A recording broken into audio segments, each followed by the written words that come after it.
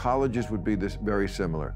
It is not healthy when there are places where you would feel completely socially ostracized if you expressed the slightest variant of a point. I, I. And Yeah. this is one of my biggest complaints with the left is their, the hypocrisy of being all about diversity. Everything is diversity, diver, except of thought.